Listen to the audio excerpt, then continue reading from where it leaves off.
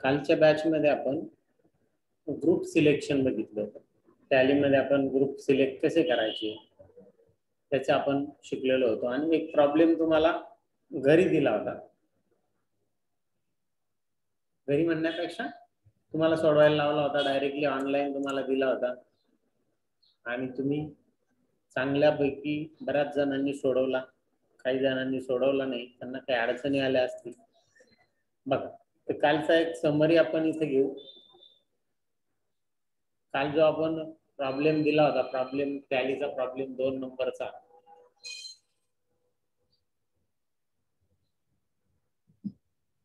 तर त्यामध्ये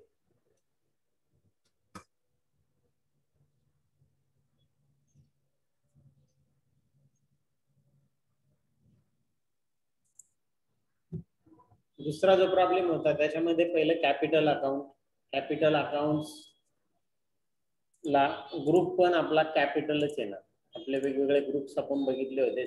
टोटल अठ्ठावीस ग्रुप त्यापैकी कॅपिटल अकाउंट या अकाउंटसाठी आपण ग्रुपचं नाव पण कॅपिटलच अकाउंट आहे. बऱ्यापैकी सर्व जणांनी जवळपास कॅपिटल अकाउंटच दिलेला आहे. एक फक्त चुकलेले शीतल सहाने. ठीक आहे? त्याच्यानंतर आहे पुढचं bank of Maharashtra bank of महाराष्ट्राला बँक अकाउंट हा ग्रुप आहे. बँकेसाठी स्पेशल ग्रुप आहे बँक ऑफ महाराष्ट्र बँकेचे कोणते अकाउंट असो करंट असो किंवा सेव्हिंग असो त्याच्यासाठी बँक अकाउंट हा ग्रुप आपण देणार आहे. आणि मॅक्झिमम सगळ्या जणांनी बँक अकाउंट दिलेला आहे. जेवढ्यांनी सोडवलं तेवढं. टोटल आपल्याकडे पन्नास ते साठ जण उपस्थित होते. आणि त्या साठ जणांपैकी चौतीस जणांनी प्रॉब्लेम सोडवलेला आहे. बाकीच्यांना काही प्रॉब्लेम होता का? त्यांनी सांगा कोणाला काही प्रॉब्लेम असेल सोडवायला तर. तिसरा अकाउंट आहे आपल्याकडे सॅलरी अकाउंट सॅलरी हा आपला खर्च आहे आणि खर्च हा कोणता आहे? इनडायरेक्ट एक्सपेन्सेस एक्सपेन्सेस साठी दोन ग्रुप आहे. डायरेक्ट आणि इनडायरेक्ट आता काहींनी डायरेक्ट दिले काहींनी इनडायरेक्ट दिले काहींनी कॅश अकाउंट पण दिलं बघ. आहे कोणी कॅश दिलं? प्रतीक्षा. कॅश नाही हा खर्च आहे. खर्च असल्यामुळे याला एक तर दोनच दोन ग्रुप पैकी तुम्हाला ग्रुप द्यावा द्यावा लागेल एक डायरेक्ट एक्सपेन्सेस आणि इनडायरेक्ट एक्सपेन्सेस हा इनडायरेक्ट एक्सपेन्सेस अप्रत्यक्ष खर्च आहे.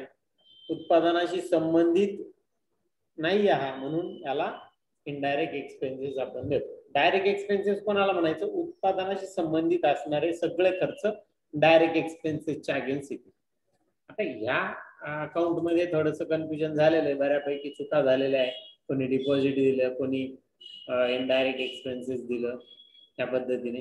नंतर मशिनरी अकाउंट बघा. मशिनरी मशिनरी अकाउंटमध्ये मशिनरी ही आपली काय फिक्स असेट आणि त्याला ग्रुप पण त्याच नावाने आहे. फिक्स असेट या नावानेच ग्रुप आहे. बऱ्यापैकी जणांनी फिक्स असेट दिलाय. सगळ्यांचे जवळपास एक असेटच ग्रुप दिला गेलेला आहे. चुकलेले फक्त दोन तीनच जण आहे फक्त त्यामध्ये. त्यानंतर इन्शुरन्स प्रीमियम अकाउंट पुन्हा हा खर्च आला. खर्चासाठी दोनच ग्रुप आहे. एक म्हणजे डायरेक्ट एक्सपेन्सेस आणि इनडायरेक्ट एक्सपेन्सेस त्यापैकी हा अप्रत्यक्ष खर्च इनडायरेक्ट एक्सपेन्सेस आहे म्हणून त्याला इनडायरेक्ट एक्सपेन्सेस ग्रुप आपल्याला द्यायचा त्यांनी तो सोडूनच दिलेला आहे. समजला नसेल सोडून दिला.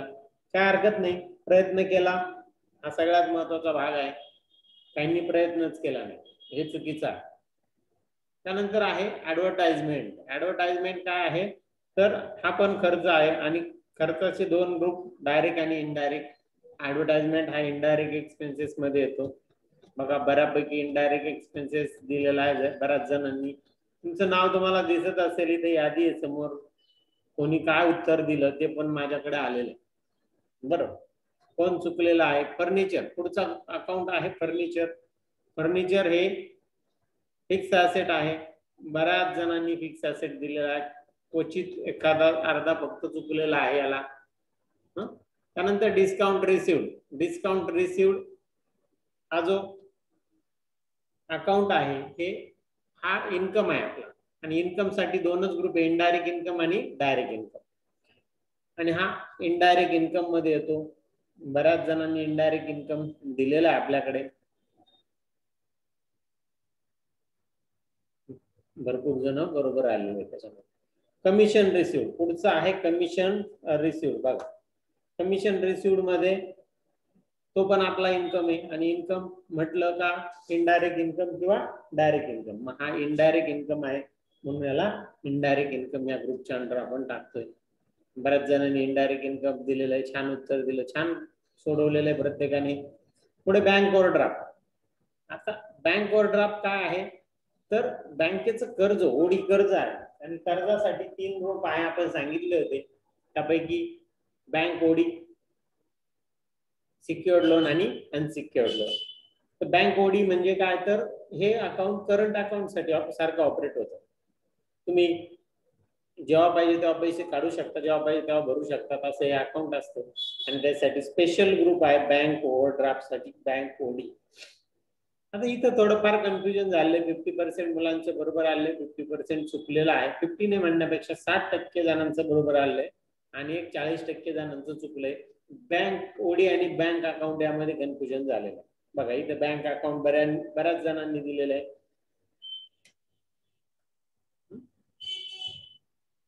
काळे प्रथमेश नम्रता मध्ये अक्षरा बाळे स्नेहा लांडगे यांनी बँक दिले. बँक नाहीये त्याला बँक ओडी आहे. बँक ओव्हरड्राफ्ट ठीक आहे? पुढचा जो काही ग्रुप आहे तो म्हणजे शेअर्स अकाउंट शेअर्स ही आपली इन्व्हेस्टमेंट आहे. शेअर्स अकाउंट त्यासाठी सेपरेट ग्रुप आहे इन्व्हेस्टमेंट पुन्हा इथं बऱ्यापैकी चुका झालेल्या पन्नास टक्के जवळपास चुका झालेल्या असतील. इन्व्हेस्टमेंटसाठी सेम इन्व्हेस्टमेंटच ग्रुप आहे. हे लक्षात घ्या. शेअर्स ही आपली काय असते? इन्व्हेस्टमेंट असते. ती जरी ऍसेट असली आपली पण त्याच्यासाठी सेपरेट आपल्याला ग्रुप दिलेला आहे. बऱ्याच जणांनी फिक्स असेट पण ग्रुप दिलेला आहे त्याला. तर तसं न करता त्याला इन्व्हेस्टमेंट सेपरेट ग्रुप आहे. ड्रॉइंग अकाउंट ड्रॉइंग तुम्हाला मी सांगितलं होतं कॅपिटल अकाउंट हा ग्रुप त्याच्यासाठी असतो. आणि सर्व जणांनी कॅपिटल दिलं कोणीही चुकलेलं नाही. कोणीही चुकलेलं नाही. सगळ्यात महत्त्वाचा भाग ड्रॉइंग त्यानंतर आहे परचेस अकाउंट बघा purchase account purchase goods account असं म्हटलेलं आहे. त्याला परचेस साठी स्वतंत्र ग्रुप आहे? परचेस अकाउंट आणि तो चांग बऱ्यापैकी कॅन्डिडेट्सने दिलेला आहे. बऱ्यापैकी म्हणजे सत्तर ते ऐंशी टक्के कॅन्डिडेटचा बरोबर आलेला आहे. Sales account sales goods account. त्याच्यासाठी सेल्स अकाउंट हा ग्रुप आहे. आणि खूप छान सगळ्यांनी जवळपास सेल्स अकाउंटच त्याला ग्रुप दिलेला आहे. ठीक आहे? पुढे जाऊ आपण. पुढे आहे डेटर्स अकाउंट. डेटर्ससाठी सनरी डेटर्स म्हणून ग्रुप आहे. त्याच्या नावातच ग्रुप होता. अकाउंटच्या नावातच एखादा अर्धा कॅन्डिडेट फक्त चुकलेला आहे. बाकी सर्वांनी छान उत्तर दिलेलं याचं पण सनरी डेटर्स पुढे आहे क्रेडिटर्स सन्ट्री क्रेडिटर्स त्याच्यासाठी ग्रुप आहे. आणि सर्व जणांनी जवळपास मला आतापर्यंत तरी दिसते क्रेडिटर्स दिलेला आहे सन्ट्री क्रेडिटर्स काहींनी करंट लॅबिलिटी दिलाय तर तो करंट लॅबिलिटी हा मेन ग्रुप आहे. त्याच्या अंडर हा सनरी क्रेडिटर आहे. तुम्हाला मी सांगितलंय की मेन ग्रुप फक्त काही विशिष्ट अकाउंटलाच वापरायचा आहे क्रेडिटरला वापरायचा नाही. क्रेडिटरसाठी स्वतंत्र ग्रुप आहे.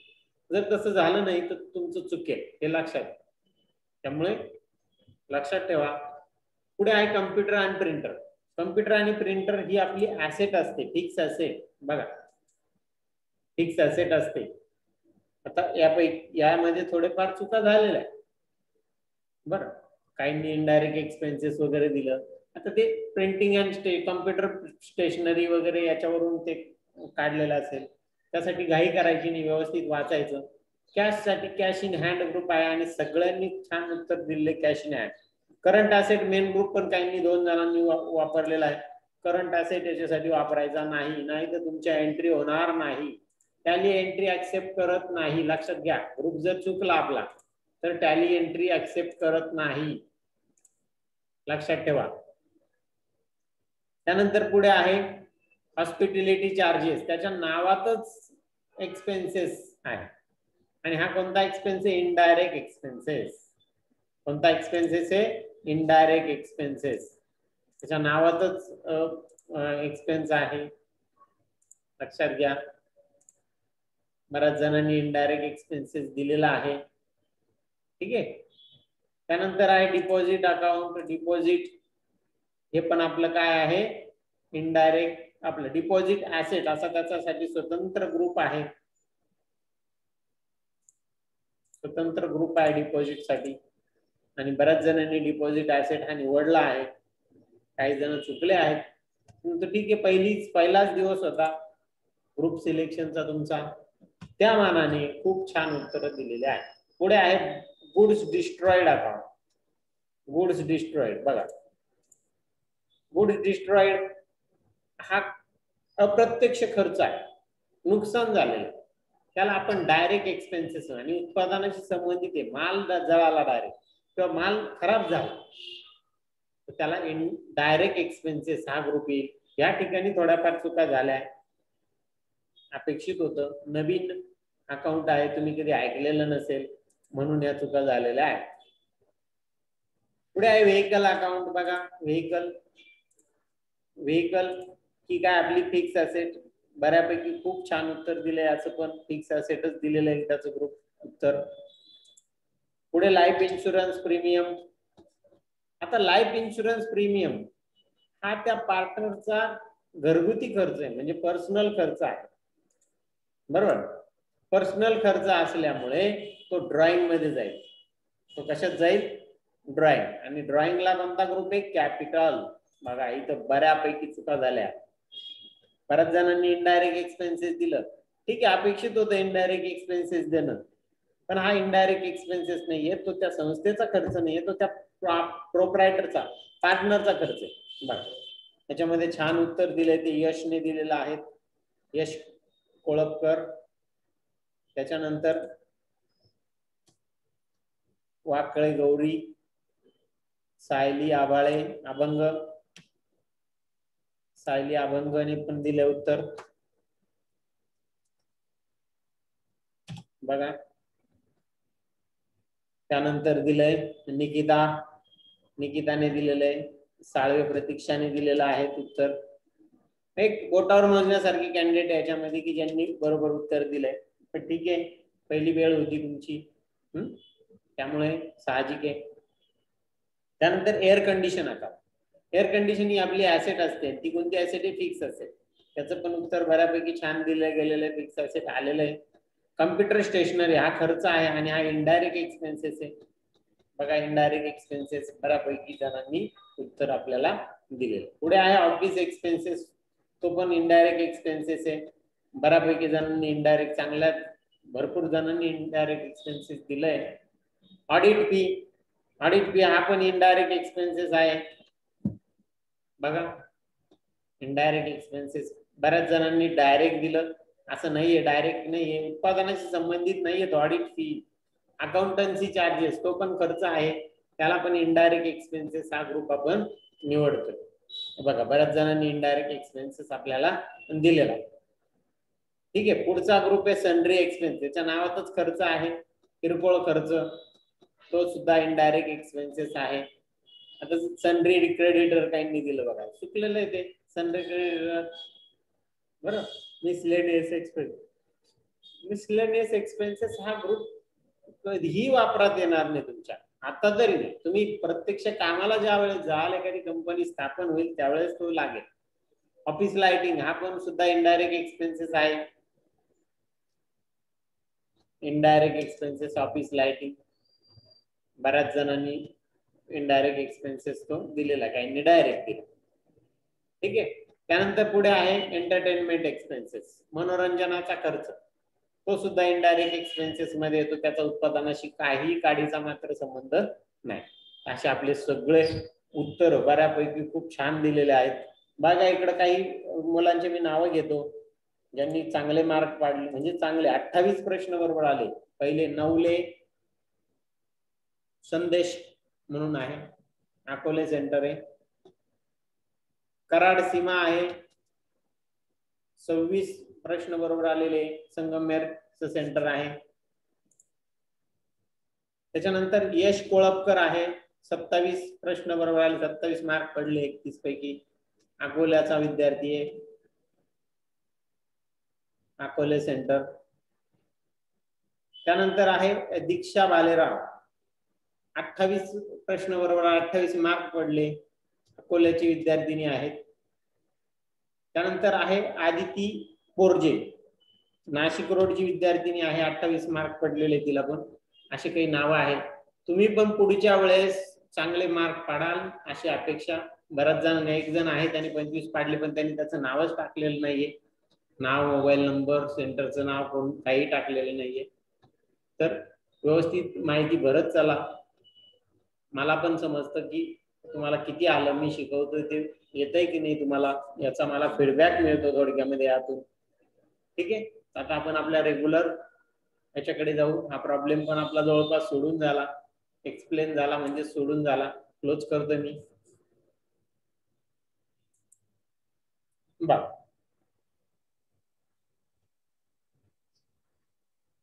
आता आपल्याकडे पुढचं लेक्चर जे पुढचा टॉपिक जो आहे तो म्हणजे जर्नल तुमच्या वर्कबुकमध्ये बघा जर्नल आहे पुढचा टॉपिक आहे तो जर्नल जर्नल आपल्या अकाउंटिंग मधलं हे पहिलं पुस्तक आहे. जर्नल हे अकाउंट मधलं पहिलं पुस्तक आहे बघा. जर्नल सामान्य अर्थाने जर्नल हा शब्द दैनिक अर्थ आहे. बरोबर. याला जर्नललाच काय म्हटलं तर दैनिक. म्हणजे थोडक्यात त्याच्यामध्ये दररोजचं रेकॉर्ड आपण रेकॉर्ड करू. हे रेकॉर्ड किपिंग सिस्टीममध्ये मध्ये माहितीच्या मूळ प्रविष्टीचे पुस्तक आहे. अकाउंटिंग मधलं हे पहिलं आणि मूळ पुस्तक आहे. हे असे स्थान आहे जेथे सर्व व्यवहाराची सुव्यवस्थित आणि तार्किक पद्धतीने नोंद केली जाते. तर इथं सुव्यवस्थित म्हणजेच ठरवून दिलेल्या पद्धतीने तिथं नोंद केली जाते. आता जर्नलचा फॉर्मॅट कशी नोंद केली जाते? तर चार पाच कॉलम आपल्याला इथे दिलेले डेट पहिला. ज्या दिवशी आपण ट्रान्झॅक्शन होते त्याची तारीख आपण इथे टाकणार. पर्टिक्युलर्समध्ये आपण कोणत्या अकाउंटला डेबिट कोणत्या अकाउंटला क्रेडिट याची माहिती आपण इथं देणार. आणि एक नॅरेशन पण आपण याच्यामध्ये लिहित असतो. म्हणजे थोडक्यात त्या झालेल्या ट्रान्झॅक्शनचा थोडक्यात सारांश असतो पुढचा कॉलम हे L F L F column ह्या कॉलममध्ये तुम्ही लेजर फोलिओ असं त्याचा फुल फॉर्म आहे एल चा. हे आहे जर्नल आपण जे शिकतोय आता ते जर्नल शिकतोय. आणि एल एफ लेजर फोलिओ हा याचा फुल फॉर्म आहे. म्हणजेच ज्या इथं जरी आपण ही एंट्री केली तरी आणखी पुढचं जे पुस्तक आहे अकाउंटिंग मधलं ते म्हणजे लेजर आहे. आणि जर्नल मधून पोस्टिंग ही लेजरमध्ये केली जाते. मग लेजरमध्ये पोस्टिंग केल्यानंतर त्या लेजरमध्ये कोणत्या पानावर पोस्टिंग केली त्या पानाचा नंबर या ठिकाणी येत असतो. त्यानंतर डेबिट अमाऊंट आणि क्रेडिट अमाऊंट ज्या अकाउंटला डेबिट असेल त्याची डेबिट साईडला अमाऊंट लिहिलं जाईल आणि ज्या अकाउंटला क्रेडिट असेल त्याची क्रेडिट साईडला अमाऊंट इथं लिहिलं जाणार आहे. बरोबर अशा पद्धतीने हे जर्नल आपल्याला शिकायचं आहे. बरोबर? आता यामध्ये आपलं सायमल्टेनियसली टॅली पण चालणार होतं पण आपला लॉकडाऊन मुळे तुम्हाला प्रॅक्टिकल नसल्यामुळे आपल्याला टॅली आता शिकवता येत नाही. म्हणजे टॅलीचं प्रॅक्टिकल घेता येत नाहीये. जसंही लॉकडाऊन उघडेल तसं आपण पहिल्यापासून म्हणजे आपण जे आता प्रॉब्लेम काल सोडून घेतले ते आपल्याला टॅलीमध्ये टाकायचे. टॅलीमध्ये ते अकाउंट तयार करायचे कसे करायचे काय करायचे? जसे लॉकडाऊन उघडेल त्यावेळेस आपण त्या लेक्चरमध्ये पहिले परत सुरुवातीपासून येऊ आणि मग अकाउंट क्रिएट करू जर्नल एंट्रीज करू या सगळ्या गोष्टी आपण करणार आहोत. तर असा हा जर्नलचा आपला स्पेसिमन तुमच्यासमोर आहे. अशा पद्धतीने जर्नल आपल्याला आखायचं असतं आणि आखल्यानंतर त्यामध्ये date wise one by one entry आपल्याला पोस्ट करायची असते. ठीक आहे? आता जर्नल करताना काय करावं लागतं? बघ. प्रोसिजर ऑफ जर्नलायझेशन जर्नलायझेशनच्या तीन स्टेप आहे प्रोसिजर पहिली स्टेप आहे दिलेल्या ट्रान्झॅक्शन मधून दोन अकाउंट शोध. दिलेल्या ट्रान्झॅक्शन मधून दोन अकाउंट शोध.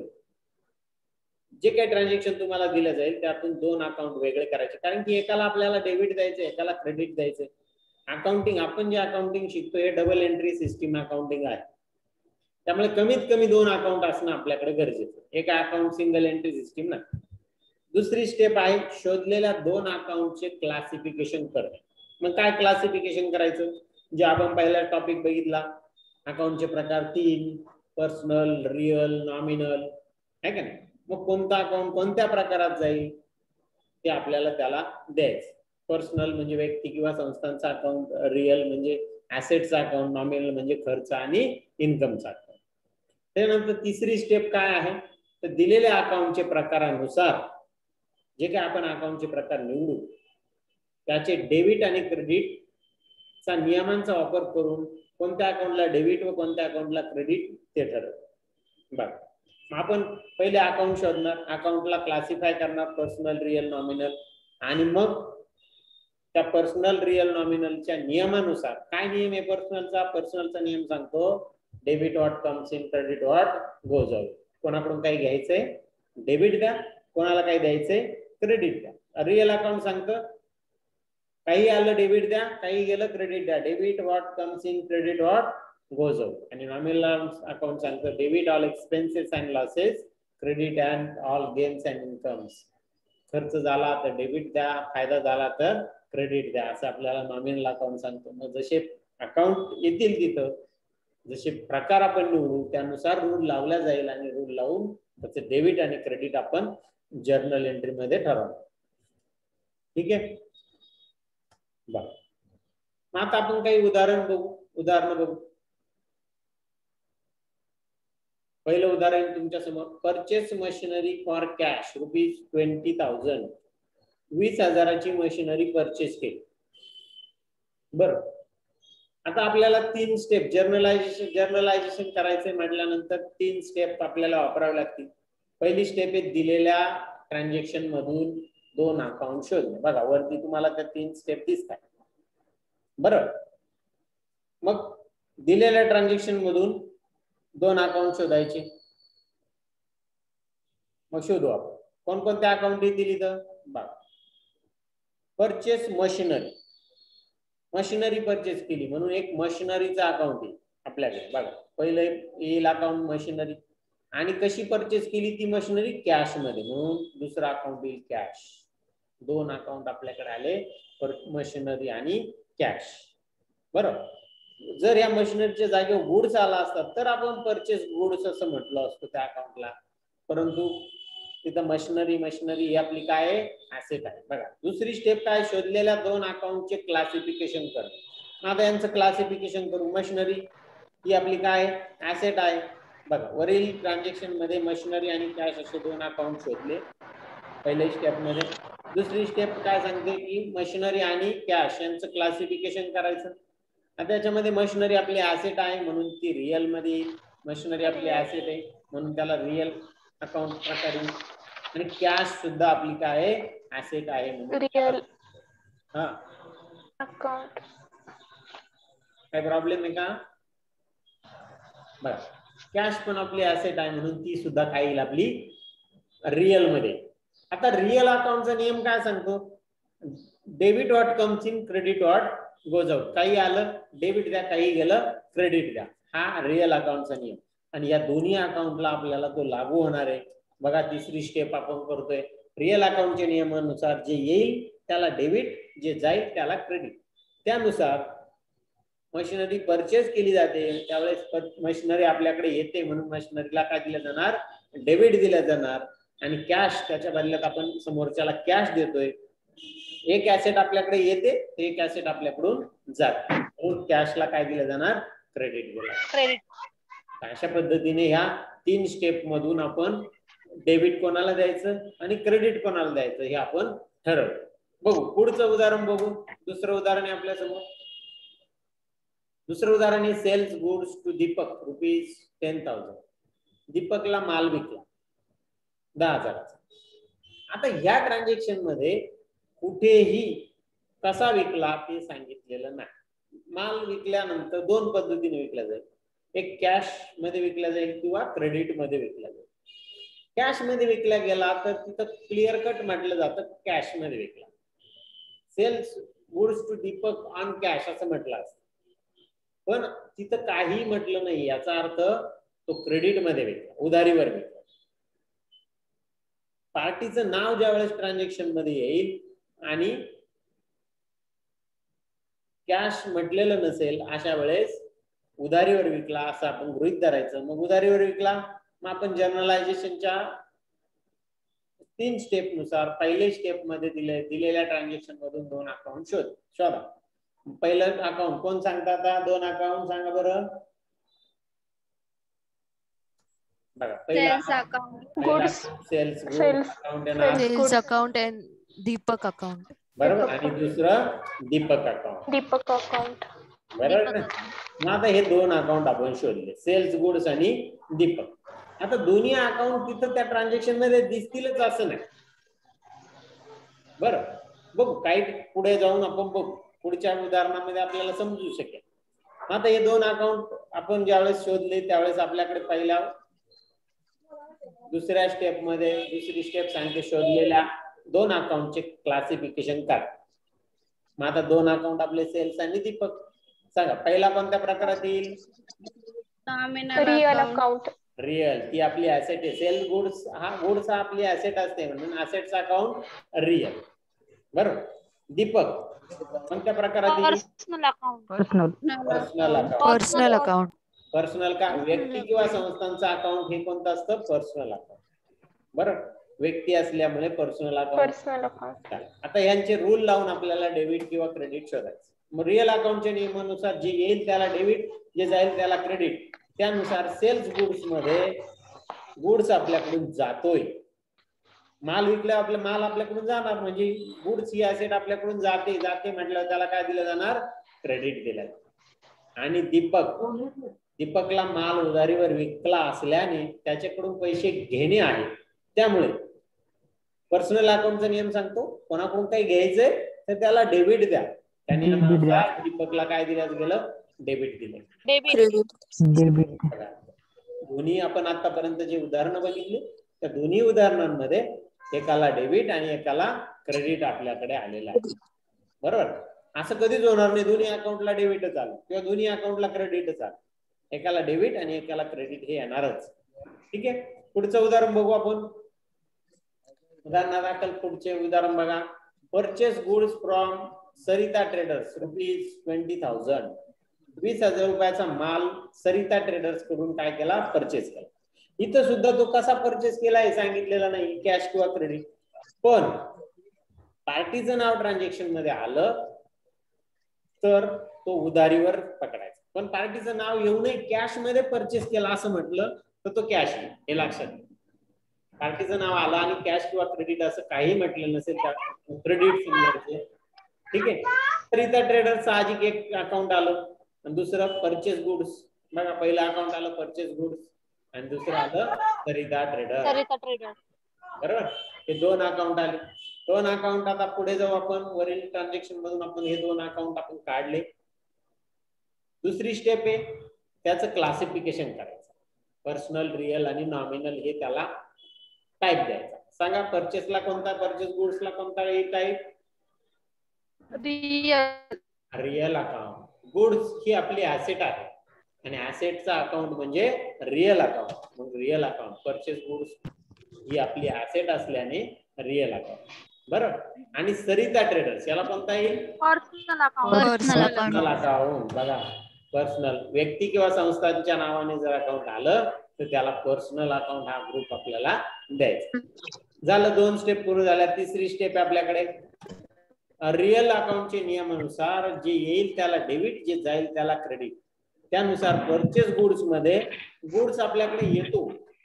गुड्स ही ऍसेट आपल्याकडे येते म्हणून त्याला काय दिलं जाणार. डेबिट नियमच सांगतो जे येतं त्याला डेबिट द्या.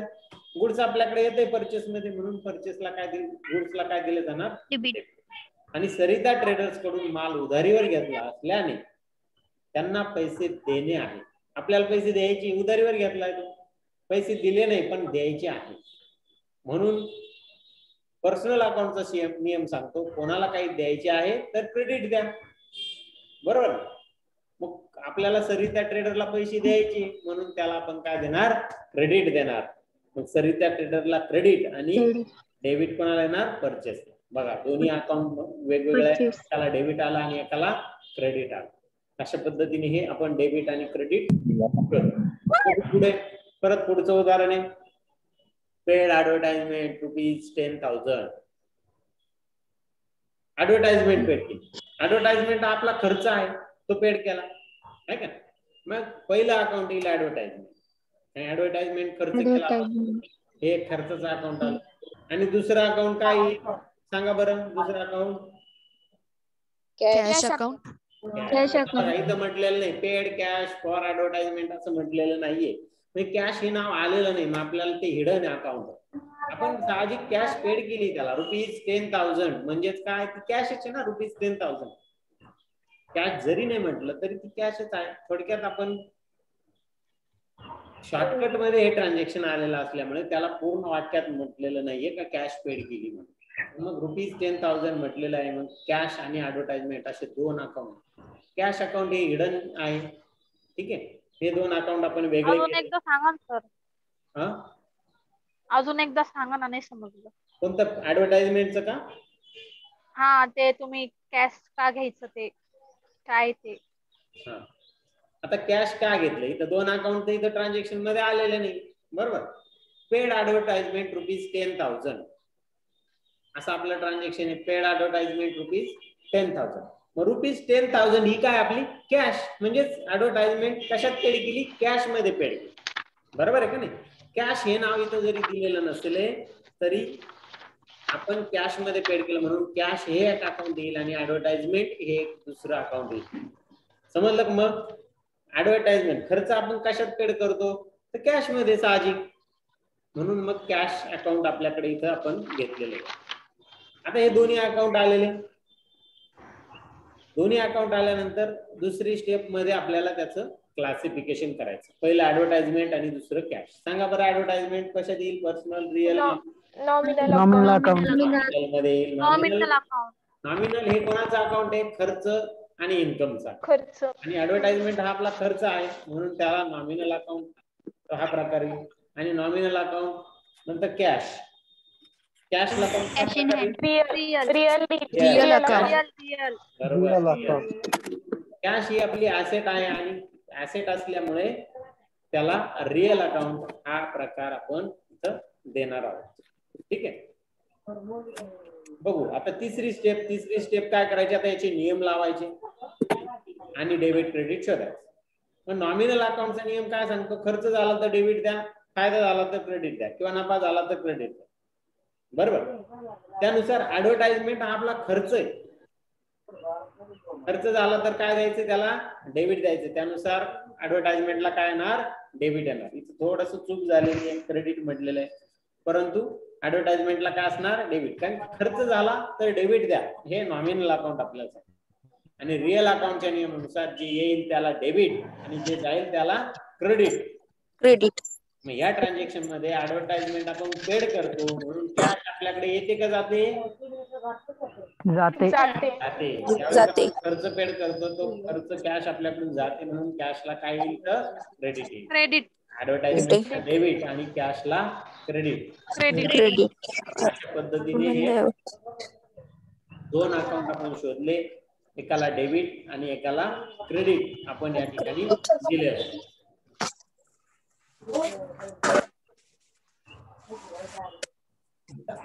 समजलं मग सर्वांना जर्नलायझेशन कसं करायचंय? जर्नलायझेशन करण्याच्या तीन पद्धती. हो सर पहिले पहिली. पद्धत काय? दिलेल्या ट्रान्झॅक्शन मधून दोन अकाउंट शोधायचे. दुसरी दुसरी स्टेप शोधलेल्या दोन अकाउंटचे क्लासिफिकेशन करायचे. कशामध्ये पर्सनल रिअल आणि नॉमिनल आणि तिसरा दिलेल्या अकाउंटचे प्रकारानुसार त्याचे डेबिट आणि क्रेडिट चे नियमांचा वापर करून कोणत्या अकाउंटला डेबिट व कोणत्या अकाउंटला क्रेडिट ते आपल्याला ठरवायचे. बरोबर? अशा पद्धतीने आपण या तीन स्टेप मधून जर्नलायझेशन करू शकतो जर्नल एंट्री करू शकतो. मग आता आपला पुढचा जो प्रॉब्लेम जर्नलचा पहिला प्रॉब्लेम आपल्याला बघायचा आहे. तर तो प्रॉब्लेम आपण पुढच्या बॅच मध्ये बघू. आता जवळपास चाळीस पंचेचाळीस मिनिटं बॅच ला झालेल्या आहेत आपल्या. आपला काही प्रॉब्लेम पुढच्या दहा वीस मिनिटात होणार नाहीये. जर्नलच्या प्रॉब्लेम पूर्ण आपल्याला पहिला प्रॉब्लेम असल्यामुळे एक तास द्यावा लागणार. बरोबर? जसे आपण इथं चार उदाहरणं बघितले तसे तिथे भरपूर ट्रान्झॅक्शन आपल्याला येणार आहेत. आणि प्रत्येक ट्रान्झॅक्शनचं आपल्याला जर्नलायझेशन आपल्याला तिथं करायला लागेल सर आवाज खूप कमी ठीक आहे? तर आता उद्या आणि परवा शनिवार आणि रविवार संपूर्ण लॉकडाऊन असल्यामुळे आपली बॅच सुद्धा त्या दिवशी बंद राहणार आहे. आता आपला जर्नलचा पहिला प्रॉब्लेम हा सोमवारी होईल. शनिवारी आणि रविवारी कोणीही हजेरी लावू नका. बरं? ती ग्राह्य धरल्या जाणार नाही. त्यामुळे शनिवार रविवार हजेरी लावू नका. डायरेक्ट सोमवारी आपली बॅच होईल. सर्वांनी सोमवारी बॅचला उपस्थित राहायचं. आणि नवीन टॉपिक आहे जर्नल त्यामुळे कोणीही गैरहजर राहू नका. जर्नल समजलं नाही तर पुढचे टॉपिक तुम्हाला समजणार. हा सगळ्यात महत्त्वाचा मुद्दा. आता बरेच जण यात कॉमर्स आहे ते म्हणजे ते बोर होत असतील. तुमचं रिव्हिजन होते एक लक्षात घ्या. आणि जर्नल हा पाया आहे. आणि हाच प्रॉब्लेम आपल्याला टॅलीमध्ये टाकायचा आता आपलं लॉकडाऊन सुरू नसतं तर आपण जो काही क्लासिफिकेशन ऑफ अकाउंट आपण केले ते आपल्याला टॅलीमध्ये टाकायचे होते. तिथं ते अकाउंट तयार करायचे होते. पण आपल्याला ते तयार करता येत नाहीये. प्रत्येकाच्या घरी काही कॉम्प्युटर नसेल काहींच्या असेल पण सर्वांच्या नाही शंभर टक्के नाही. त्यामुळे आपण प्रॅक्टिकल हे त्यावेळेस बघू. बरं तरी पण जर्नलचा पहिला प्रॉब्लेम सोडवल्यानंतर आपण त्याचं प्रॅक्टिकल एक बघणार आहोत. प्रॅक्टिकल पण पुन्हा ते रिपीट करू आपण. ठीक आहे? आता इथं आज थांबतोय. लेक्चर झाल्यानंतर प्रत्येकाने आपली आउटची हजेरी लावून टाकायची आहे. इन तर केलेलंच असेल तुम्ही. तुम्हाला अकरा ते साडे अकरा मध्ये इन करण्यासाठी सांगितलेलं आहे. आणि आउट हे लेक्चर झाल्यानंतर तुम्हाला करायचं आहे. ठीक आहे? इथं थांबतोय.